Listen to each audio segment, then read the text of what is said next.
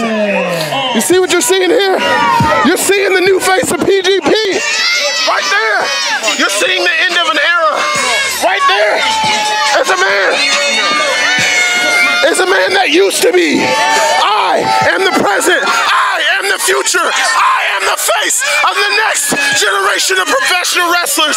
If you don't believe me, come here every month and I'll prove it to you.